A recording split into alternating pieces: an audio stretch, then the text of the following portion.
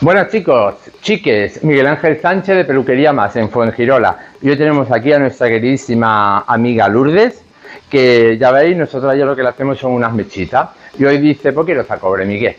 Y digo, pues ¿por qué no? En el gusto está el cambio, ¿no? No, en el cambio está el gusto, ¿cómo es eso? Hay un dicho de eso, algo así, ¿no?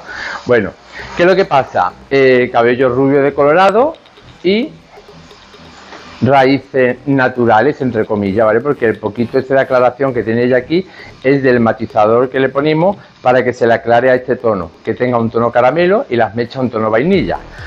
Eh, ya sabéis que nosotros no nos gusta, es que depende también eh, de poner los matizadores con idea de aclarar el cabello natural de la raíz.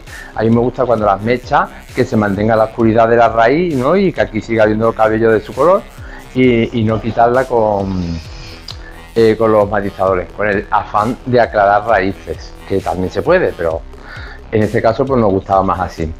Eh, ella quiere un cobre, pero no quiere un cobre potente, ¿vale? Si le vamos a meter algo en la raíz para que la que la aclare, le va a quedar potente y luego aquí pues no le va a quedar tan potente. Entonces, como queremos como un cobre vintage, ¿no? Por ponerle un nombre, o es así, ¿no? como tú lo has visto en internet. cobre, cobre vintage, un cobre un, cobrizo apagado. ¿Vale? Pues le vamos a aplicar eh, la siguiente mezcla. Bueno, el resultado va a quedar así. Y la mezcla te la decimos después de la intro. Y si quieres saber más, suscríbete a nuestro canal. ¡Vamos allá!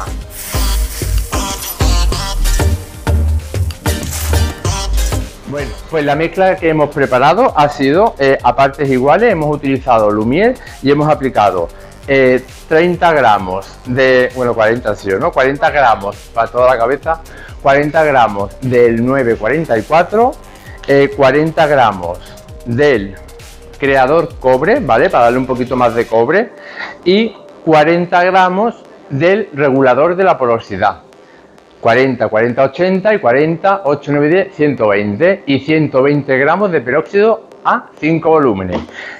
Eh, digamos que es como un baño de color. Le hemos añadido a la mezcla el regulador de la porosidad más el extra de oxidante contando el regulador de la porosidad, con lo cual ya nos queda un tinte más diluido. Y, se lo vamos a aplicar pues, empezando por atrás eh, de raíz a punta. Y ahora vemos el resultado. Vamos allá. Bueno chiques, corregimos, no hemos utilizado Lumière, hemos utilizado Organic, Organic 944, creador pobre de Lumière regulador de la porosidad de Lumière y peróxido a 5 volúmenes. Vamos allá. Bueno chicos, pues ya estáis viendo qué colorcito le ha quedado. ¿Veis? Es una manera de depositar pigmento cobre en el cabello y no meter ese fogonazo en la raíz. En la raíz como iba, iba a 5 volúmenes, ¿no? A 5 volúmenes pues el cabello pues queda pues mm, con un pigmento más suave que un tinte eh, de golpe y porrazo, porque de todas formas es lo que tú dices, que tú puedes eh, mañana decir, Miguel, que yo quiero estar más rubia, entonces esto es mucho más fácil de quitarlo que un tinte rubio de raya punta y de eso que, es súper fogonazo, súper intenso. Bueno, vamos a, terminar, a esperar a que termine Manuela de secar el cabello y ahora lo vemos. Bueno chicos, pues ya habéis visto el cobrizo eh, apagadito que le queda, un cobrizo vintage. No le queda el fogonazo en la raíz y es un cobrizo natural.